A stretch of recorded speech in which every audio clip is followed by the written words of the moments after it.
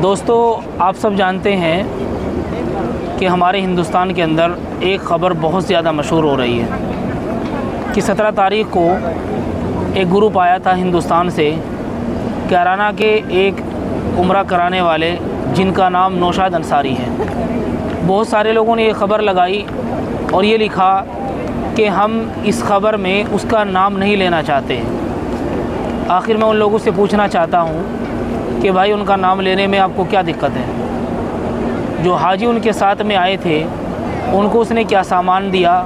ये बहुत सारी बातें मशहूर हो रही है। तो मालूम ये चला कि उस बंदे ने उनको लड्डू दिए थे।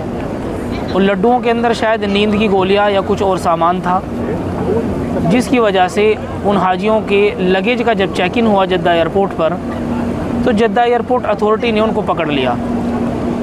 और बहुत सारे लोगों को इस चीज़ का इल्म 27 तारीख को हुआ, जब हमारा ग्रुप मक्तुलमकरम आया था। तो जब ये ख़बर फ़ेमस हुई तो हमारे साथ आने वाले जो हजाज इकराम थे, उनके घर वाले बहुत परेशान हो गए।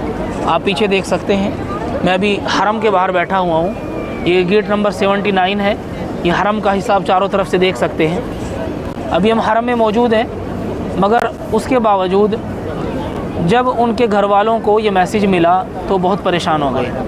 हमने अपनी वीडियो में कैप्शन दिया था पहले, कि उन लोगों को क्या सज़ा मिलने वाली है। क्योंकि बहुत सारे लोगों ने ये ख़बर लगाई कि अरब के अंदर तस्करी की सज़ा सिर्फ़ सज़ाए मौत है। तो ऐसा नहीं है, अभी तक जाँच चल रही है। और सऊदी अरब के अंदर एक चीज़ बड़ी इम्पोर्टेंट है, वो है यहाँ का कानून।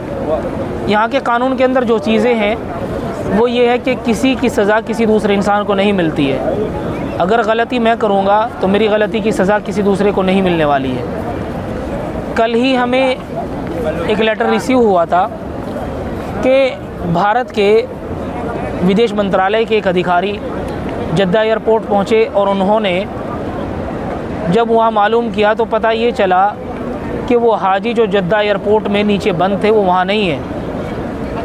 लेकिन जब उस अधिकारी ने यहाँ का जो ड्रग विभाग है उससे पता किया तो पता चला कि वो लोग उनके पास है और अभी जाँच चल रही है।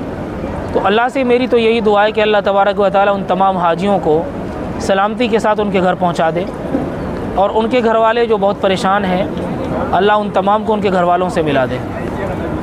लेकिन सबसे इम्पोर्टेंट चीज़ जो यहाँ है वो ये है कि जब हम लोग हरम आते हैं उम्र के लिए आते हैं तो इस चीज़ का ख्याल हम लोगों को रखना चाहिए कि हम जिस शख्स के साथ आ रहे हैं वो कितना मोतबर है। आजकल एक बड़ी फ़ेमस चीज़ हो गई है वो ये है कि उम्र पैकेज जितना सस्ता हो उतना अच्छा है।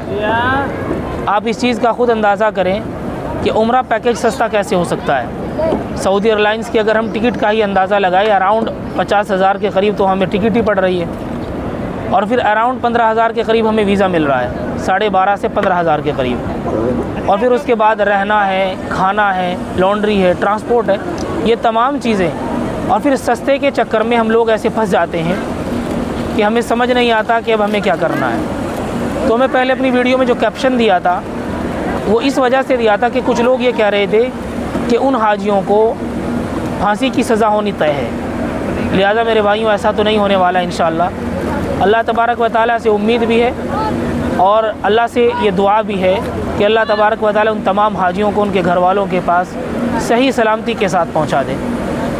मगर आप इस चीज़ का हमेशा ख्याल रखें, जिस शख्स के साथ आप आ रहे हैं, वो कितना मोतबर है, आपका पैसा आपकी इबादत और आपका वक्त। ये तीनों चीज़ें बर्बाद नहीं होनी चाहिए। जब हम लोग अल्लाह के घर का सफ़र करते हैं तो हमें इन चीज़ों का ख्याल रखना चाहिए कि जिस शख्स के साथ साथ हम आ रहे हैं, आखिर वो इंसान अपने वादों पे कितना खरा उतरने वाला है।